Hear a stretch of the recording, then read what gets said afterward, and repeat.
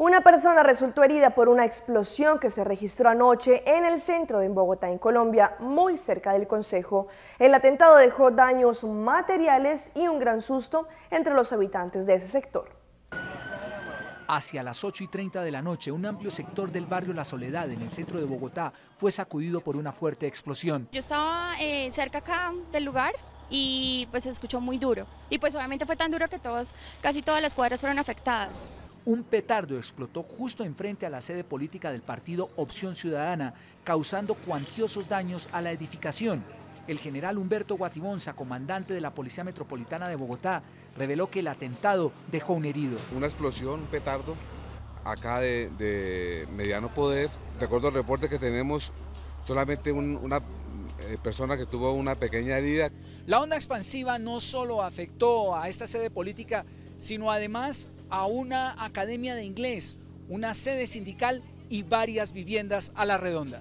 Además de la sede política, la peor parte la llevó esta academia de inglés contigua al lugar que fue blanco del atentado.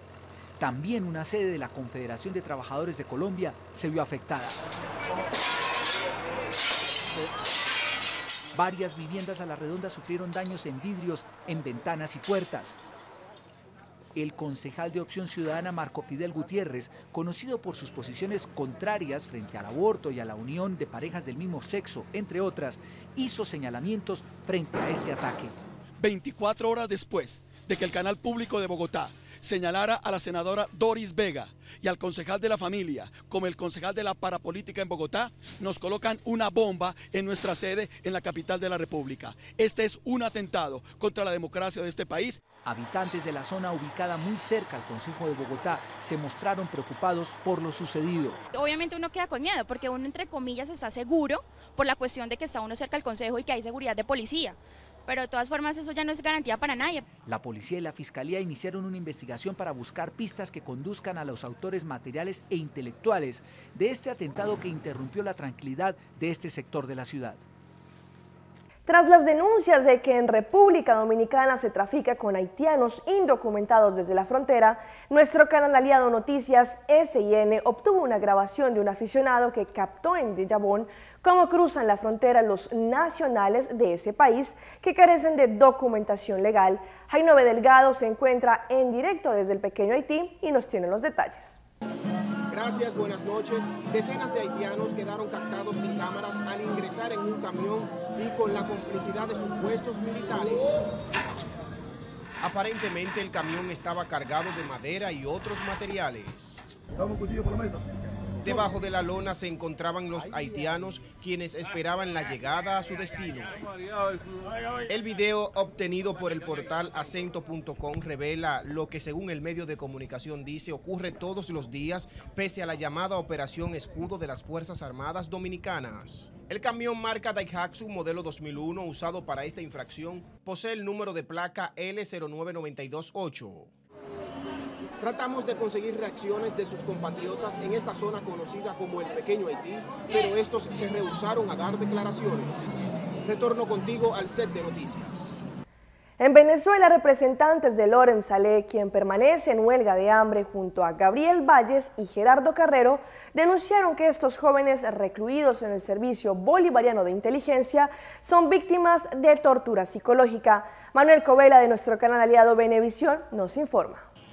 Abogados y la madre del dirigente de la ONG Operación Libertad aseguraron que el joven tomó la medida de protesta con dos compañeros más para reclamar sus condiciones de reclusión en el área del Serín de Plaza Venezuela, denominada La Tumba. Nos encontramos frente a la tortura psicológica porque el hecho de mantenerlo en una habitación, primeramente eh, solos en una, sola, en una habitación, eh, todas las paredes pintadas de blanco, donde la comida les pasaba por debajo de la puerta, y eh, no garantiza las condiciones mínimas, simplemente tiene una, tabla donde colocan una colchoneta muy delgada y el aire acondicionado, entonces es eh, bastante, se lo bajan. Reconocieron que personal de la Defensoría del Pueblo y el Ministerio Público han realizado visitas a los detenidos para constatar su situación, pero afirmaron que los beneficios obtenidos son mínimos. Ahí no hay sol, lo sacan al sol nada más dos veces a la semana en cinco meses llevan nada más seis salidas al sol. No hay aire natural. Lo que se escucha es el, sonido del metro. Me consta porque yo lo escucho, el sonido del metro. ¿Me entiendes? Porque la sala de espera está allá abajo. Defensa y familiares de los jóvenes detenidos en el SEBIN denuncian que estos estarían siendo presionados para que atestiguen en contra de dirigentes de la Mesa de la Unidad Democrática. Desde Plaza Venezuela, Manuel Covela, Noticiero Venevisión. Con una fuerza explosiva de 2.000 kilogramos, un hotel de Las Vegas quedó reducido a un montón de escombros. El Hotel Casino Clarion de 12 pisos fue el decimotercer edificio demolido en una ciudad que destruye para construir.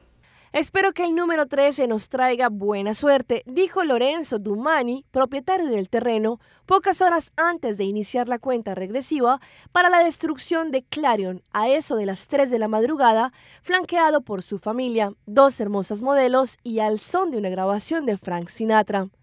El Hotel Casino de 200 habitaciones fue inaugurado en 1970 con el nombre de Royal Inn y se le conocía como Debbie Reynolds por la actriz que fue su propietaria durante un tiempo. El Clarion cambió de nombre varias veces y otras tantas estuvo en quiebra, dijo Dumani. Afirmó que el fracaso no se debió a su ubicación, sino al mismo edificio y a las habitaciones que parecían cubículos. Dumani se propone construir un hotel en forma de torre de 60 pisos sin casino a partir del 2018. En vez de competir con todos, hay que ofrecer algo único. Explicó que su objetivo es atraer a los asistentes a las convenciones. Es el momento de una pausa comercial, pero no se despeguen porque ya regresamos con más información aquí en Pulso Latino. En breve ex integrante del grupo Ángeles Negros está en decadencia total. Conozca la secuencia de los grupos de la parada de luces en San Nicolás. Mañana es la infartante premier de 50 sombras de Grey.